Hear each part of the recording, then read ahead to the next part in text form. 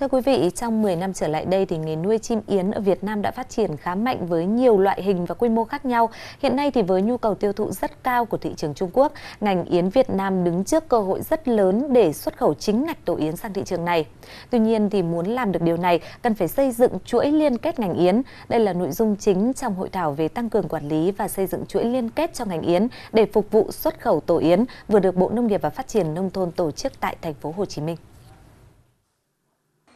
Theo Bộ Nông nghiệp và Phát triển Nông thôn, các sản phẩm yến xào chủ yếu được xuất khẩu với giá từ 1.500 đến 2.000 đô la Mỹ trên một ký, đem về khoản ngoại tệ từ 100 triệu đến 125 triệu đô la Mỹ mỗi năm.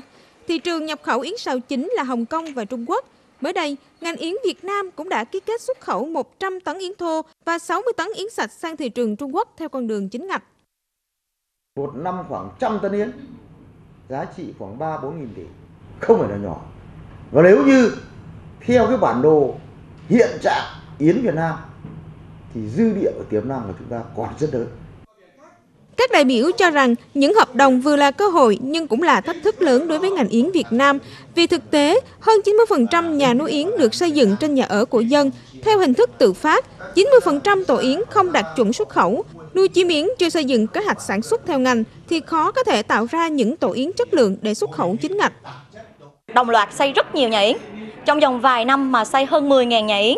Như vậy thì nếu như mà tính hiệu quả không tốt, một nhà chỉ thu được 2 kg giống như Malaysia thì chúng ta đang lãng phí 10.000 tỷ. Giải pháp tốt nhất để tránh thách thức đó là xây dựng chuỗi liên kết ngành yến. Trong chuỗi này, nhà nước và doanh nghiệp sẽ là đơn vị hỗ trợ người dân về áp dụng các chính sách, kỹ thuật nuôi và thị trường tiêu thụ. Còn người dân phải đảm bảo sản xuất ra những tổ yến chất lượng có truy xuất nguồn gốc và đảm bảo an toàn thực phẩm. Muốn truy xuất nguồn gốc thì phải có cái liên kết trong từ cái khâu mà từ làm nhà yến cho đến việc kỹ thuật ờ, nuôi yến, dẫn dụ, rồi thì gây nuôi ờ, cũng như là khai thác và sơ chế cái tổ yến. Trong năm quốc gia có điều kiện tự nhiên để nuôi yến lấy tổ là Malaysia, Thái Lan, Indonesia, Philippines và Việt Nam, thì Việt Nam được đánh giá là có thể cho ra loại tổ yến có chất lượng cao. Chính vì thế, chỉ cần chuỗi liên kết ngành yến được xây dựng thì giá trị mà ngành yến mang về cho Việt Nam rất lớn. Chứng nhận Hà Lan là một chương trình đánh giá theo chuẩn mực quốc tế cho sản phẩm hoặc là dịch vụ có trách nhiệm của các quốc gia Hồi giáo. Khi mà được cấp chứng nhận Hà Lan thì đồng nghĩa với việc là sản phẩm sẽ được cấp giấy thông hành để xuất khẩu vào các thị trường Hồi giáo. Đây được xem là thị trường tiềm năng khi mà chiếm tới 1 phần tư dân số của thế giới. Và mới đây thì sản phẩm yến xào thiên triều của Việt Nam đã được cấp giấy chứng nhận này. Điều này càng khẳng định được giá trị và chất lượng của yến xào Việt Nam trên thị trường quốc tế. Tịnh xá Ngọc Phương ở quận Gò Vấp, thành phố Hồ Chí Minh. Điểm bán các sản phẩm yến xào Thiên Triều cũng là nơi anh Mai Văn Khánh tin tưởng để mua các sản phẩm từ yến về phục vụ gia đình.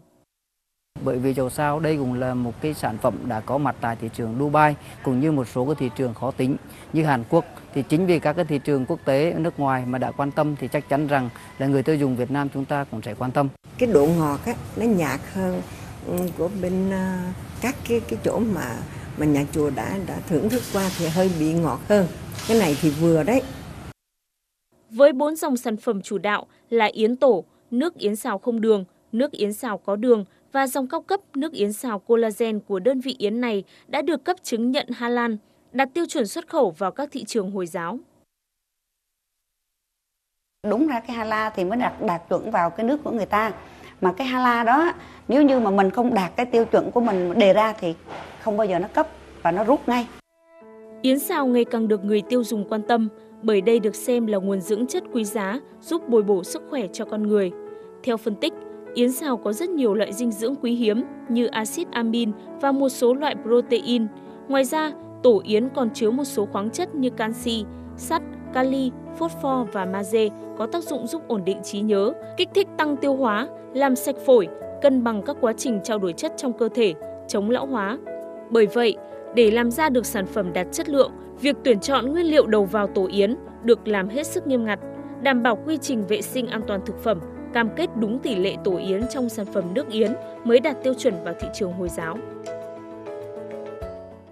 Vì đây là một cái sản phẩm ở phân khúc bậc cao, giá trị kinh tế cao và có tính chất bổ dưỡng. Do vậy mà cần khai thác mạnh mẽ cái giá trị gia tăng kể cả là giá trị gia tăng về mặt y tế trong sản phẩm của yến, kể cả những giá trị gia tăng về mặt tiêu dùng, về mặt thương mại nói chung đối với sản phẩm yến.